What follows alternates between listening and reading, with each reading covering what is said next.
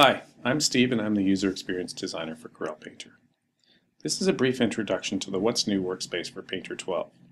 This workspace has been designed to highlight many of the new features, brushes, and a general overview of Painter 12. Once imported into Painter, it is available from the welcome screen or from the workspace flyout in the window menu. The first thing you will notice if you have used previous versions of Painter is the user interface has seen a dramatic change.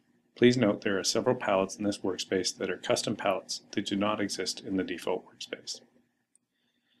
First, a quick walkthrough of the Painter workspace. At the top, we have the brush selector, the property bar, which we also had in Painter 11. We have added a new recent brushes bar that shows the 10 most recently used brushes, allowing for easy access and switch switching to your recently used brushes.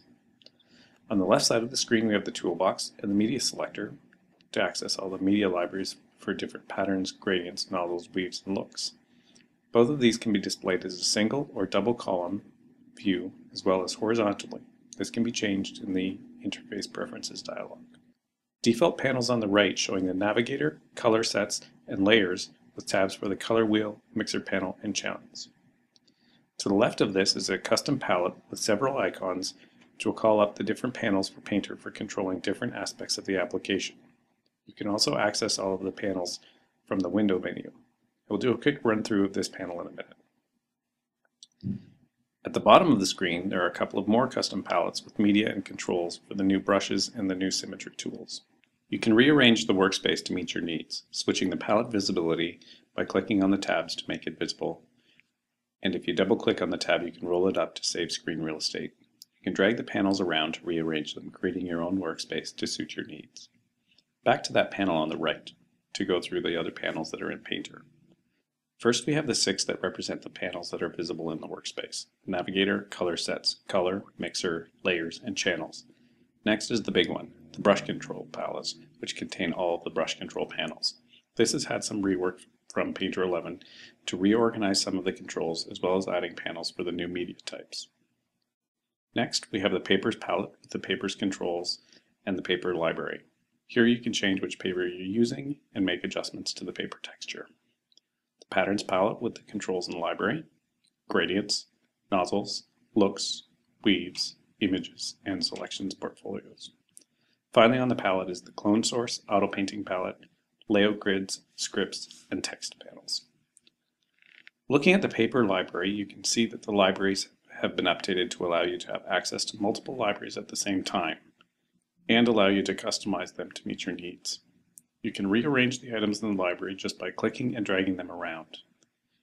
You can create a new library from the flyout and then add items to it from the default or other libraries by dragging them from one or the other. And you can hide the libraries that you don't use to make more efficient workspace. Okay, let's start to play with some of the new stuff. Creating a new document, you can set the name, size, canvas color, and paper texture of the painting you're going to work on. If you find that you work on a similar sized or styled document frequently, you can save that setup as a preset. So next time you create a document, you can select it from the preset list. While painting, you can use a keyboard modifier to change the size of your brush as you could in Painter 11.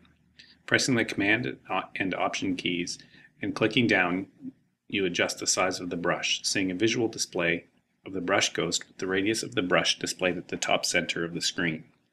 What's new is that while in this mode, if you let go of the Command and Option keys with the stylus still pressed to the tablet, you can toggle through different adjustments by tapping the Command key to adjust the opacity, squeeze, and rotation of the brush without needing to go into the brush controls to make these adjustments.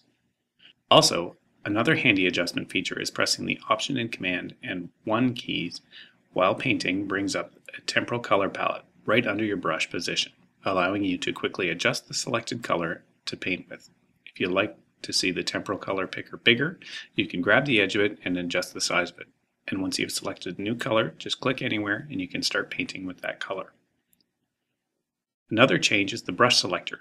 It has been changed to be more accessible in Painter 12 allowing you to see the categories in either icon or list views and seeing them all at once. And while you switch categories, the variants list on the right allows you to select brush quicker. Dab and stroke previews are displayed at the bottom of the list. So now let's take a look at the new media in Painter 12.